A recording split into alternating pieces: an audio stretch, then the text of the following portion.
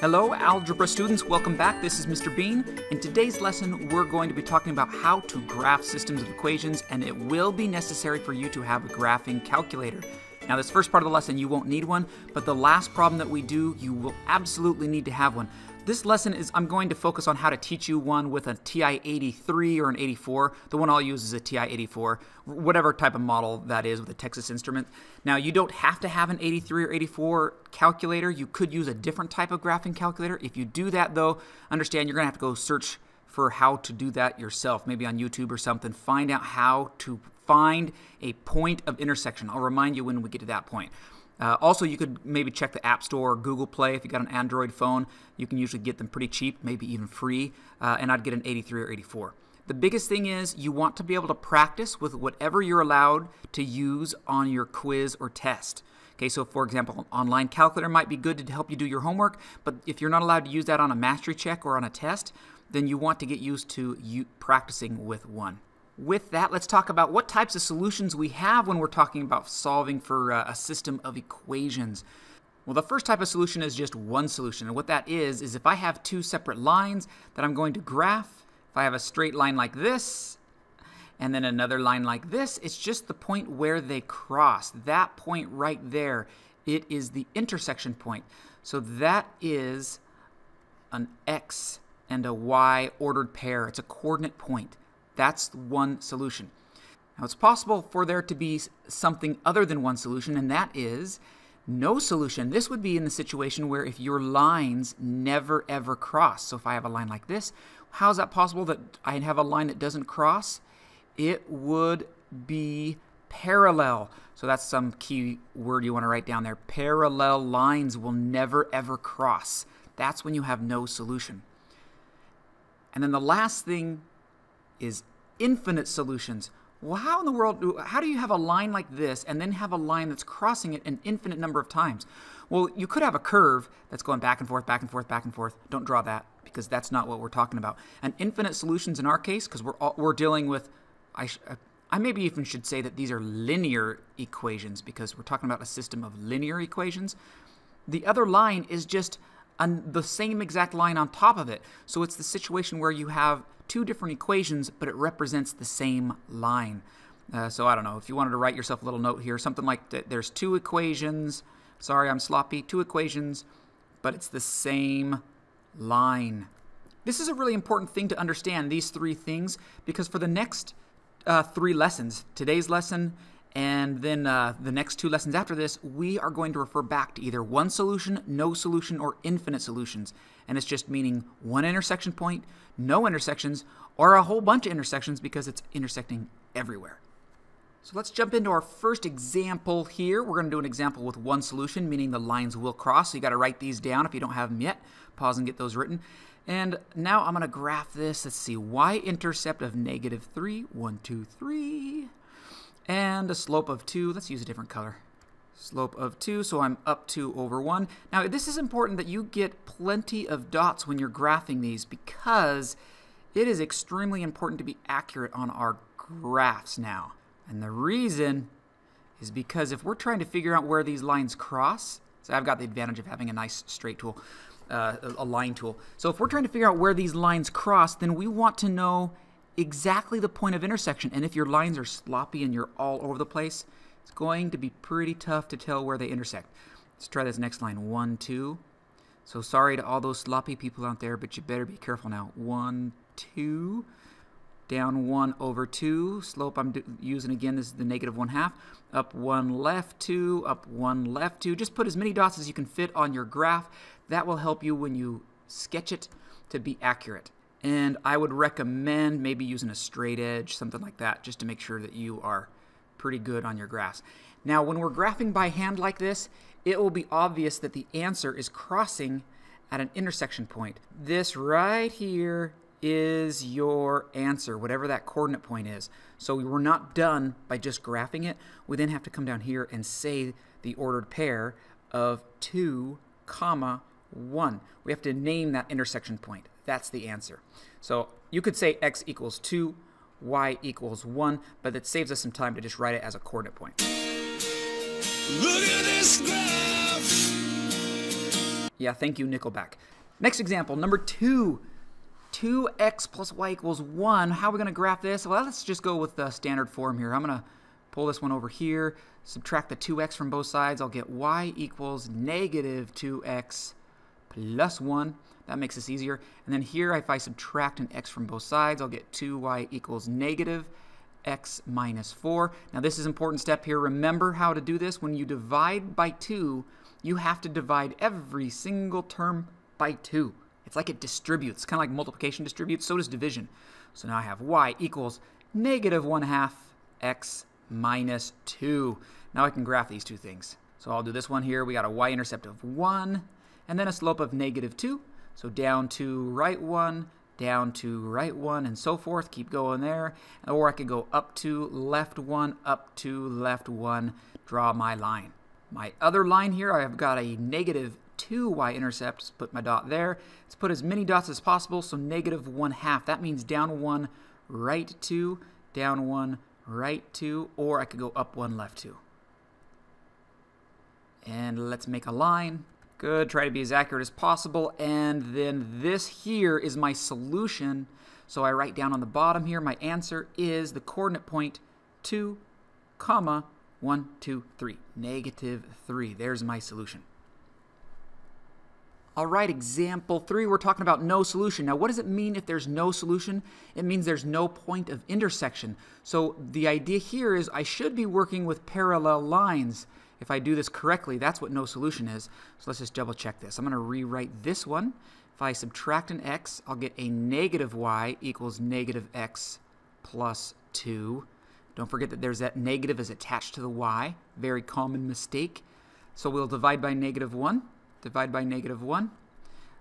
y equals x minus 2. All right, let's graph that real quick. A slope of 1, 1, 1. You probably don't have to have quite as many dots on this one because it's just a slope of 1. That's pretty easy. My other equation, again, I'll subtract the x, so that leaves me with negative y equals negative x minus 1. Divide everything by this negative 1 here to get the y all by itself negative 1, and we get y equals x plus 1. So we'll go up here, and again it has a slope of 1, so it should just be that nice diagonal line. So what do we put as our answer? The answer is where they intersect. Since these don't ever intersect, we say no solution.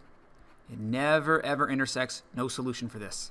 Look at this Infinite solutions. Okay, so let's rewrite this equation. I'll subtract 3x from both sides.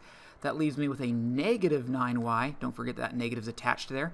Negative 9y equals negative 3x plus 18. Now I divide everything by negative 9, negative 9, negative 9. That leaves me with y equals 3 ninths is the same as 1 third x. Negative, negative is positive. positive negative, negative. So 18 divided by 9 is 2. 1 third x minus 2. Well, what about this one? If I subtract x from both sides, we'll get negative 3y equals negative x plus 6. Divide everything by the coefficient of y there. We're going to get it by itself. And we have y equals 1 third x minus 2. Look at that. They're exactly the same equations. So now you know, since you have exactly the same equation, they started off being different equations, but we solved for y and we see it's the same line. So you only have to graph one line. Let's see here, y-intercept negative 2, up 1 over 3, or I could go down 1, left 3. And then since there is just both those two equations are the same line, we put infinite, infinite, infinite solutions. I'm going to abbreviate there. Solutions. Okay, we've just covered the entire lesson on how to graph by hand. So the hardest part is done.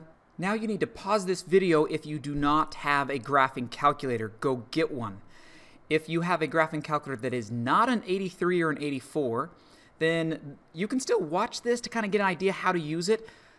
But uh, if you have a different calculator, you need to go research how to find a point of intersection. And that's what I'm going to write on there is you want to do some type of search of point of intersection. intersection. That's what you need to Google or search on YouTube, something like that with your type of graphing calculator. So again, I'm teaching how to do it with a Texas Instrument 84 or an 83. You don't have to do a whole bunch of details of writing all the steps down because I have all the steps at the bottom of your notes right there. Okay, so boom, here they are. I'm just going to show you a couple other things with the graphing calculator to uh, help us work on some things. And that is the first thing I want you to do, take your graphing calculator, hit this window button right here. There's a button that says window and I want you to change it to look like these numbers here. Okay, so pause this video and get that done. Don't worry about I X'd out this part because that stuff, none of that matters. Some of your calculators won't even have that, but that doesn't really matter for what we're about to do. Okay, you should have that entered. If you don't, stop this video, keep getting those things entered. So what we have now is, I wanted you to see what how we can manually change what the graph uh, screen looks like. If we say negative 5, that means that right here, this x value is a negative 5 on the x minimum value. The x maximum is a 30, so the maximum side on the right is 30. If we say the x scale is 5, it means it's counting by 5. So this would count 5, 10, 15, 20, 25, 30. That's what these little tick marks are doing. It's the scale. So now we talk about the Y min and Y max. It's the same idea. All the way down here, the Y minimum, this is negative 100 at the very bottom. The Y max is 50. So way up here, we have a 50. And then what does these little tick marks represent? I set them to go by tens. So you can set your own scale. So it's 10, 20, 30, 40, negative, down to 100, or 10, 20, 30, 40, 50, going up. All right, so those are the only ones that we have to really work with. The X residual, the delta X change in X, don't worry too much about these. It's a little bit more advanced. We're not going to worry about that at all today. That's really helpful. You're going to get into some lessons later with Mr. Brust. He's going to show you how to move this window around a little bit more in depth. But what we're going to focus on is just keeping, having what's called a standard window where we have this is going to be negative 10, this is going to be positive 10. I think the scale is just a 1 when we do a, a uh, standard window. So again, the y minimum is negative 10, the y maximum is positive 10. So it's just negative 10 to positive 10, y scale is also 1. That's what's called a standard window when we change that. Everything we do today and on your practice is going to be a nice, easy standard window. So I'll show you how to do that in just a second. First thing to do before we can even use the calculator at all on these is we have to solve for y. So let's rewrite this equation. Subtract 2x from both sides y equals negative 2x minus a 7. All right, there's one equation.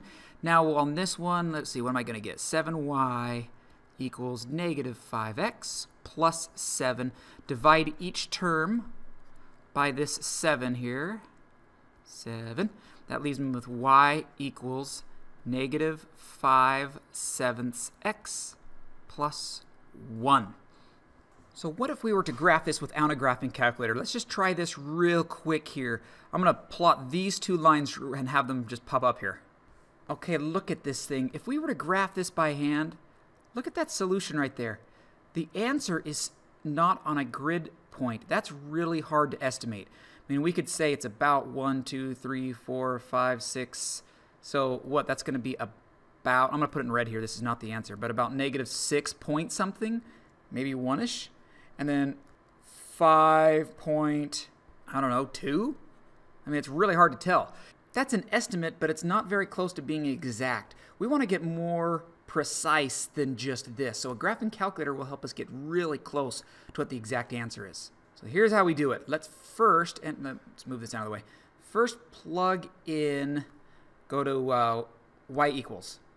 So we go to y equals. If there's anything else that's here, you need to just hit clear. So if I had some other numbers here, if you see anything else on your calculator, just hit this clear button right there and it will clear out that line. If you go up here and you see that one of these plots are on, highlighted like that, you need to also turn those off. That will throw us our graphs off, so just hit enter. It toggles on and off if you hit enter when you're highlighting it. And then you can come back down. So make sure the plots are off and that there's nothing else in here. Just clear all those lines. All right, now we plug in negative 2x minus 7. Oh, this is really important. If you do not have a graphing calculator right now, just stop watching, like, or at least you got to make sure you come back and watch this again with a graphing calculator. I will tell you right now, if you walk up to one of your teachers after this is over and you say, I don't know how to graph with a graphing calculator, we're just going to tell you to go back and watch this because I'm showing you right here. But you need to have a graphing calculator with you when you do this because you're supposed to be following along and trying this as well. One thing I'll point out, how did I get a negative 2x? I used this button right here for a negative. Don't use the minus, use this button as a negative. It'll throw it all off if you put a minus in front of these two numbers. So make sure you use that negative little trick for this. Okay, next is our window. So I could go to this window button and manually type in my window. See, I've got this other one that I was practicing with, but we could do this a much faster. We want a standard window, so click zoom, and then this option, for me it's option six. It might be different on your calculator, so just double check that it says Z standard. So if I go down here and I hit enter, or you can just type the number six in and hit entered, then it jumps to a standard window, negative six to pos or negative 10 to positive 10. Okay, so now I have nice and pretty colored ones. I have a little bit more advanced ones, so you may not have that. That's okay. So now we can see here is the point of intersection. If you don't see this point crossing, then your calculator can't figure out where it's crossing. So if I were to move this screen over and I couldn't even see it, the, there's no way for your calculator to tell you the point of intersection unless it can see it. So that's one trick here. But if you don't see it, then you did something wrong because all these problems you'll be able to see on a standard window. In fact, if I look at your window, now you can see negative 10 to positive 10. All right, let's go back to the graph. I hit this graph button, brings those up. So here's the next step. You're ready? You don't have to write these because it's on your notes on that last page. We are going to calculate right there, see in blue, calculate. So I'm going to hit this, this second button and then the trace will give me calculate. And what do I want to calculate? There's all these different things that we use in high school math, to, and we want to find the intersection point. So we're going to calculate the intersect. You can either type 5 or hit enter. And now it'll ask first curve. Are you on? I know it's not a curve, but it just says curve because sometimes they curve. Is this the first line that I want to talk about? This blue one for me? Yes, I'm going to hit enter. And then the second curve, is this the second curve that I want to want I want to look at? Yes. See, what if I had like 10 curves here? Then it's asking you specifically which ones you want. So I hit enter. Now the reason it says guess is because sometimes you'll have two places where they cross. Maybe my my curve came back and crossed twice, so you just go to the one that's closest to the one you want to know about. But you don't even have to do that on this because there's only one intersection point. So you just hit enter. And then it thinks, and there's my answer. Right here, my X and my Y, it gives it to me. I'm going to drag this over here to my screen and save that thing. All right, so ooh, my answer was, my guess was pretty close. So let's round it to two decimals, negative 6.22, comma, and then 5.44. We'll just round to two decimals for this. Okay, that's how you use the graphing calculator. Isn't that awesome? And that'll give you a rounded answer. It's not exact, but it is pretty darn close to what we're looking for. We'll talk about how you get exact answers with algebra skills in the next two lessons. So there you have all those little steps there so you don't have to write it all out. Uh, just make sure you are proficient with a calculator because that will be on your mastery check. This is Mr. Bean signing off. Good luck, and I will see you back in the next lesson.